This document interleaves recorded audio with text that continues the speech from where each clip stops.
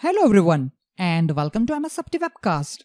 In this video tutorial series, we are going to see all the steps which are required to migrate Windows Server 2003 Active Directory to Windows Server 2019.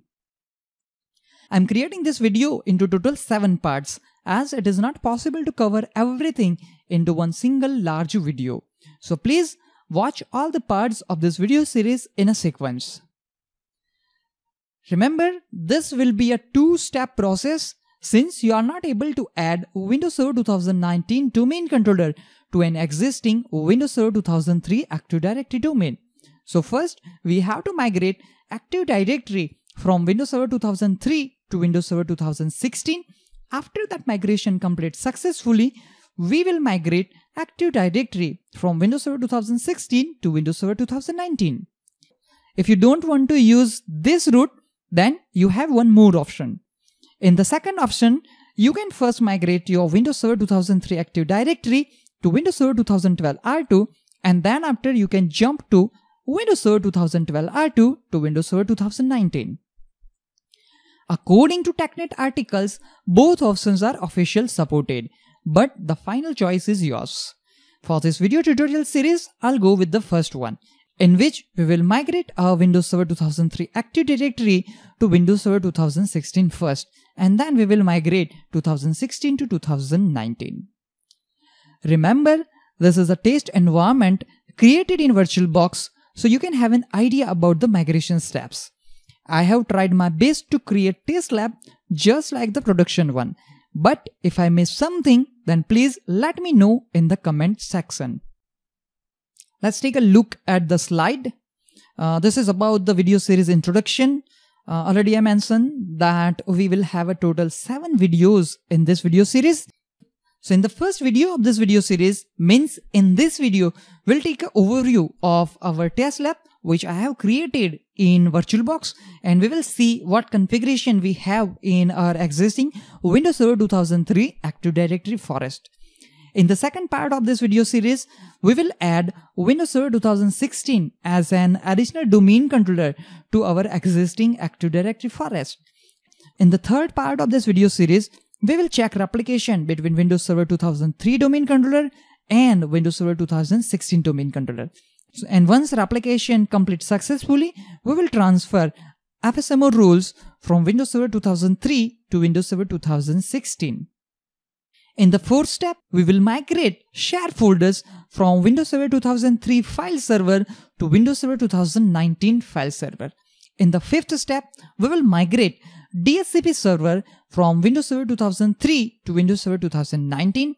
In the sixth step, we will demote Windows Server 2003 domain controller and we will upgrade domain functional level and forest functional level so we can add Windows Server 2019 as a domain controller into our Windows Server 2016 Active Directory.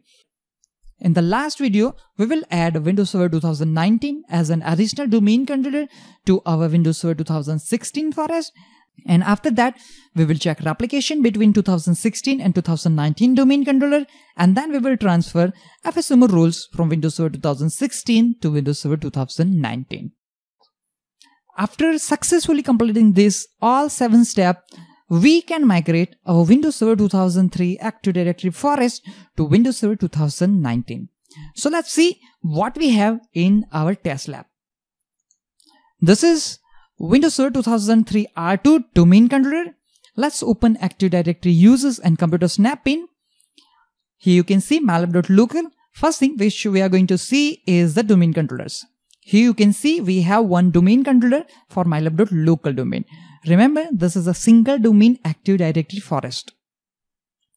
Domain controller name is ws2k3r2-dc01. Let's click on mylab.local. Let's right click there, select properties, and here you can see domain functional level is set to Windows Server 2003 and forest functional level is also set to Windows Server 2003 which is highest available domain and forest functional level in Windows Server 2003 Active Directory. Let's click on OK. Again, I'm going to click on domain controllers container. This is the domain controller which we have ws2k3r2-dc01. See, we have only one domain controller in our Active Directory. That means all five FSMO roles are currently assigned to this domain controller. One more thing which we want to check is about the global catalog server. Let's double click on Active Directory sites and services shortcut. Let's expand our site, which is headquarter, expand service, expand server name and click on NTDS settings. Let's right click here and go for the properties. You can see global catalog checkbox is selected. That means this server is also configured as a global catalog server. Fine. Let's again go back to Active Directory users and computer snap-in. I have created one OU named Delhi and under Delhi OU, I have one more OU with the name HR. Under HR OU, I have two users, HR user 1 and HR user 2. Both users are member of HR users. Fine. Now on this OU, I have configured one group policy. Let's check it. GPO name is folder redirection GPO. Let's click on edit. Under user configuration, if I expand Windows settings and if I expand folder redirection, let's click on my documents, right click on it and go for the properties. As you can see, the policy is in place for my documents. That means folder redirection is in place for my documents and the root path, as you can see, UNC path ws2k3r2-fs01. That is the our file server. Uh, we'll take a look at the topology as well. But here I want to tell you that here we have a folder redirection in place for our HR uses OU. Fine. We have one more OU and that is tag OU. In tag OU, I haven't configured any group policy, but if we take a property of uh, any users from tag OU and if you click on profile tab, you can see home directory is configured for our users which are stored under tag OU. And right now we have total two users. Fine. So we have certain settings in place. For HROU, we have folder redirection policy in place. And for tag OU, we have home directory in place. Now, where the shared folders are, that is the main thing. This is our another Windows Server 2003 server. As you can see, the name is WS2K3R2-FS01. This server is also part of our Active Directory domain Let's see the property. And uh, if you click on computer name, here you can see ws2k3r2-fs01.mylab.local and it is part of our mylab.local domain. Now this server is working as a file server for us. If I double click on drive, here uh, you can see we have a shared folder named folder redirect and home direct. Let's double click on it. So here certain folders are there and similarly under folder redirect, we have one folder for HR user 1 and here we have a my document. Definitely it will be not accessible by domain admin due to NTFS permission. Fine.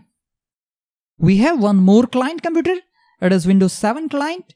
And this client computer is also part of our Active Directory domain.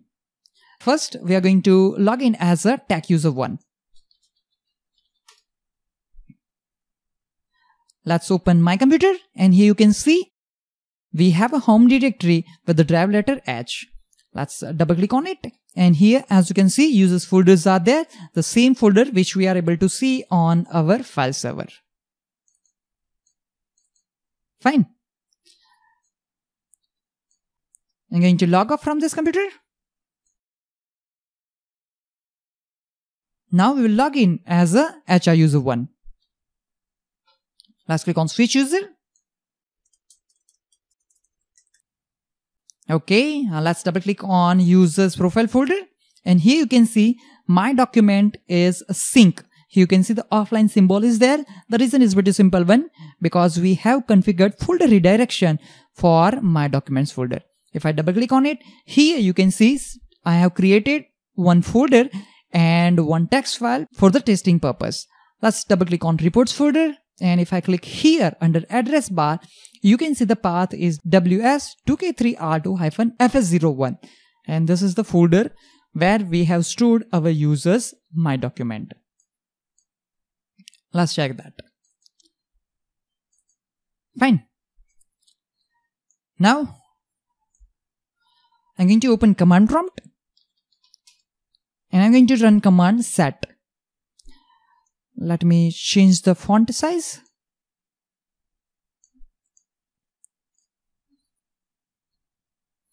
Okay, as you can see, this computer name is there. Computer name WS7-CLI01. And on this computer, we have login as a HR user one. Now, the most important thing that we want to see is here. You can see logon server is WS2K3R2-DC01. Fine. One more thing which you want to see is the DHCP. We have also configured DHCP server on our domain controller. You can see uh, one scope is there with the scope range 50.30 to 50.230. Under address list, you can see two computers are there. Windows 7 computer and we have one more server which is running on Windows Server 2019. I have created two reservations. So when we migrate DHCP server, that time you can see these reservations are there or not. Fine. So this is the scenario which we have. We want to migrate this Windows Server 2003 Active Directory environment to Windows Server 2019 environment with the same settings. Fine. Now this will be the scenario. Right now, we have a Windows Server 2003 domain controller with the Active Directory, DNS and Global Catalog with 5 FSMO roles. We have one more Windows Server 2003 server, which is a part of our Active Directory. On that, we have configured a file server. See, actually, I have installed DHCP server role on our domain controller. It is not available on our member server. Now, what we want to do? First, we want to migrate Active Directory, DNS, Global Catalog, and FSMO roles to Windows Server 2016. Now, this is our Windows Server 2016. As you can see, currently it is a part of workgroup and the IP address which we have assigned to this server is 192.168.50.8. So first, we will add this Windows Server 2016 domain controller to our existing environment. Second, we have Windows Server 2019 server, which is we are going to use as a file server. Once we migrate Active Directory from server 2003 to 2016, we will migrate file server means we will migrate our share folders from 2003 server to 2019 server. And we also want to migrate DHCP server from 2003 to 2019. So in the next six videos, we will see how we can migrate our this existing Windows Server 2003 environment to Windows Server 2019 environment. That's it for this video demonstration. In the next part of this video series, we will add Windows Server 2016 as an additional domain controller into our existing Windows Server 2003 Active Directory domain. That's it for this video demonstration. Thank you all for watching this video. If you have any suggestion and query related to this video, feel free to post in comment section.